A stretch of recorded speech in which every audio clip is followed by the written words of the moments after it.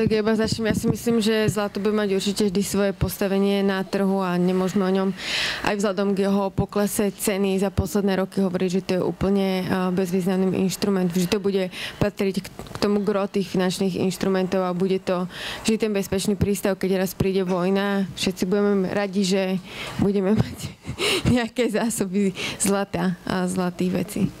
Za, před, za předpokladu, že bude voda, jídlo že a tak dále. Tak, dobře. Přesně tak, já se s tím určitě shoduji. Samozřejmě eh, neznamená to, že eh, spekuluji na to, že teď by cena zlata měla nějak skokově růst nebo mělo by nějak významně, významně posilovat. Eh, můj teda osobní názor na, na celou věc je ten, že to zlato teď bude v nějaké konsolidaci někde okolo těch 1200, 1200 dolarů. Nevylučuju tam úplně nějaký další, další pokles.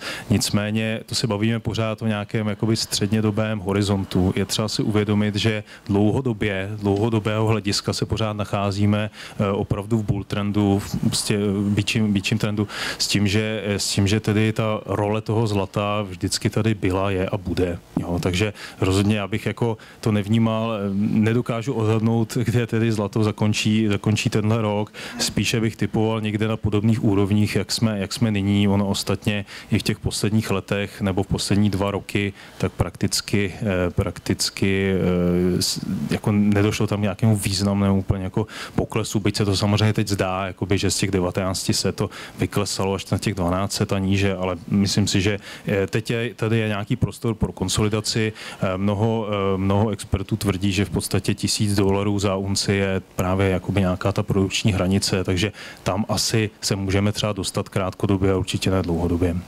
Dobře, děkuji Štěpáne. Já bych eh, se vrátil k tomu, co jsme na počátku eh, se bavili o těch dluzích a úrocích a vlastně o té měnové politice, protože to s tím zlatem velmi souvisí. Eh, já bych doporučil si přečíst knihu od ekonomů Rogofa a Reinhardtové Eight Centuries of Financial Folly,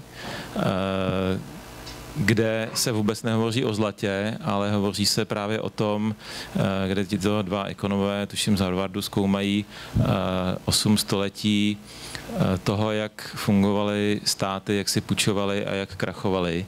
A tam je velmi zajímavé vysledovat, že my si teď myslíme, že to, že si stát může tisknout peníze, tak garantuje to, že nemůže zkrachovat.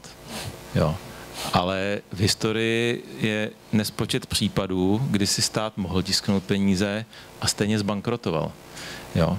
A e, ta proměná ve hře, která určuje, jestli se tak stane nebo ne, je naše, vaše důvěra v ty instituce, a v ty peníze.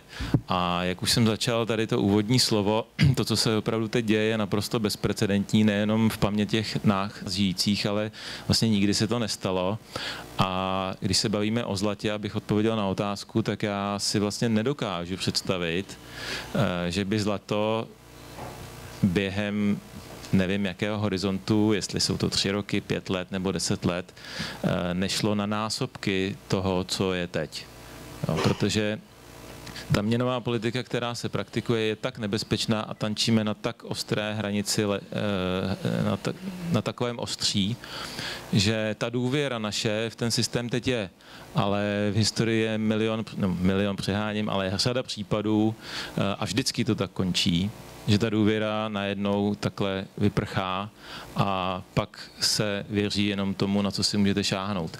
Takže my tady máme současný systém měnový 44, 1944 Bretton Woods, pak se v 70. letech trošičku změnil, ale stále je to takový experimentální měnový systém po dobu pár generací a ten tady může být, ale taky tady být nemusí.